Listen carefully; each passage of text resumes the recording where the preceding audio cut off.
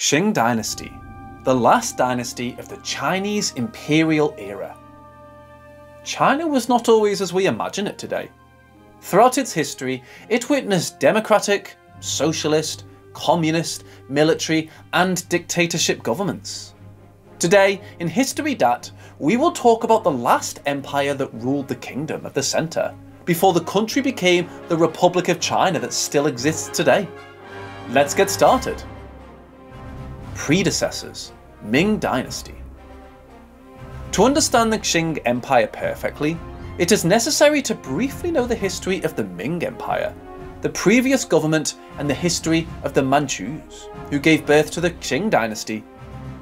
The Ming Dynasty was born in the same way that the Qing Dynasty would be born years later, through a rebellion.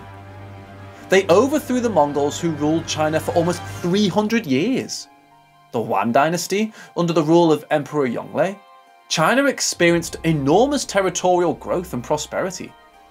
It was also under this government that the country's capital was moved to Beijing, which in Chinese means capital of the north.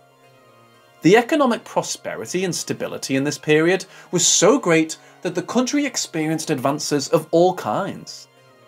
Even the engineering of the country enjoyed a great advancement. The Great Wall was fortified, and the largest naval fleet ever seen was commanded during this period. The Ming Dynasty enjoyed great popularity throughout the region because of its powerful military. You have probably heard the name of this dynasty accompanied by the word vase, and this is because great artistic advances were made under this dynasty, mainly in vases, which is to this day are still traded at very high prices. Predecessors Manchu. But that radiance did not last forever, and like all dynasties of the ancient Chinese Empire, the Ming dynasty was overthrown. The first uprisings probably took place on the countryside and from there spread throughout the country. The Manchus, the aforementioned ethnic group, were responsible for overthrowing the Ming dynasty in 1644. This name was chosen by the founder of the Qing dynasty, as he did not want his ancestors to be historically related to the subjugation of the Ming dynasty these farming people had exceptional ingenuity for tasks of all kinds. They had abandoned nomadic life to settle as a kind of tribe. They had excellent skills in art, cultivation, fishing, hunting, and falconry. The skill that most distinguished them at the time was their talent with horses. In fact, the Manchu were known in the region for their mastery of these animals, being even able to manipulate the bow and arrow while riding. Thanks to this ability, the rebellion against the Ming dynasty was successful. Birth of the Qing dynasty. After several uprisings and a few years of war, the Manchus overthrew the Ming dynasty. Although the Manchus sacked and occupied Beijing in 1644, the complete conquest took place only between 1683 and 1693, as much of the country opposed a change of government. In fact, this led to a violent war, that may have cost the Qing dynasty the throne. Prosperous Era Between 1683 and 1839, China experienced rapid growth despite facing several wars.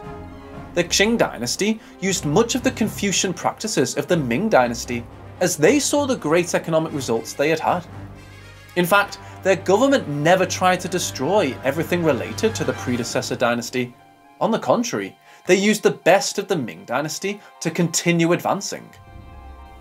This practice would become almost a standard for the Qing dynasty. This innovative, prosperous and disruptive period is known as the Prosperous Era. Militia The army was entirely based on the political military system that the emperors of the Jin dynasty had designed, the Eight Banners. This system consisted of placing the different ethnic groups in different squadrons to increase productivity. In addition, all administrative matters concerning the state also responded to this system. The flags distinguished the aptitudes and abilities of the soldiers, besides marking a clear hierarchy. The top three flags were made up only of Manchu soldiers and were directly under the orders of the emperor.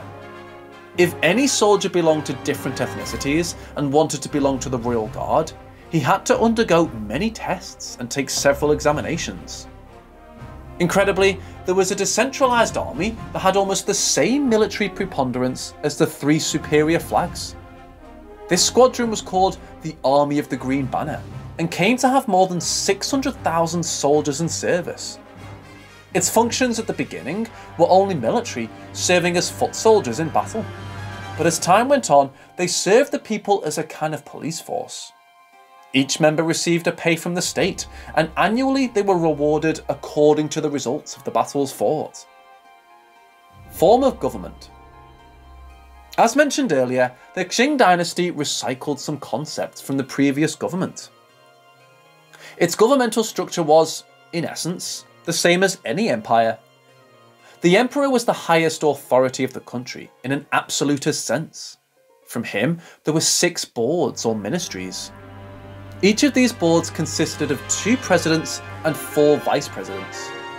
To avoid social conflicts, the boards included some Mongolians and Han Chinese.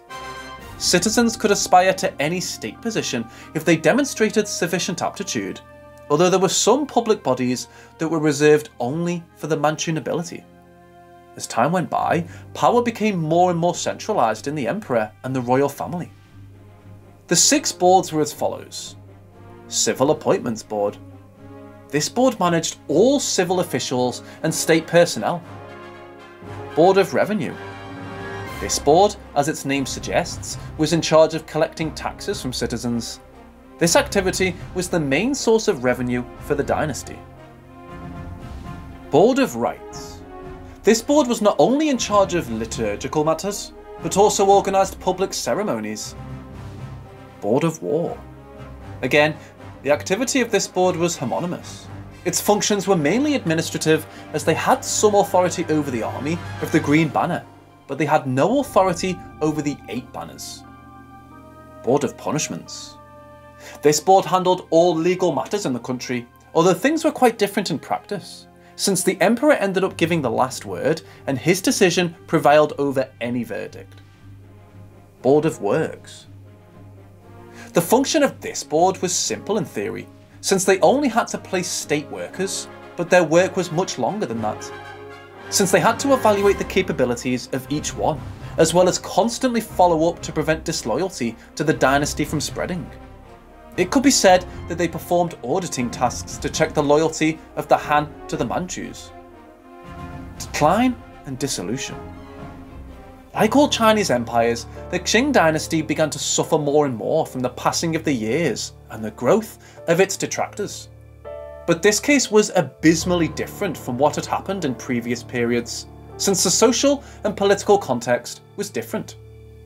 The Chinese people were tired of imperial rule and an obsolete form of government. They constantly saw the advances of neighbouring countries and felt humiliated.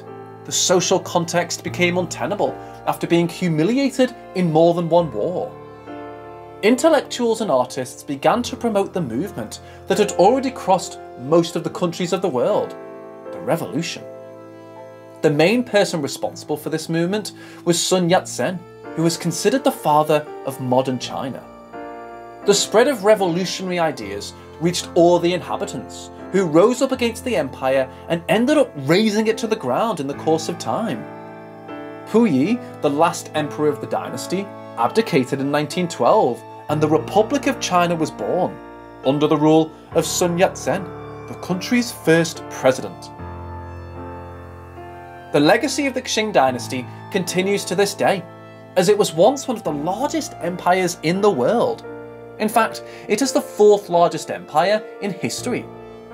As the last dynasty before the birth of the country as an official state, it almost directly influences the government to this day. Don't close the video yet. Before you go, please subscribe and leave us a like if you like the content. It will help us grow and continue making much more content.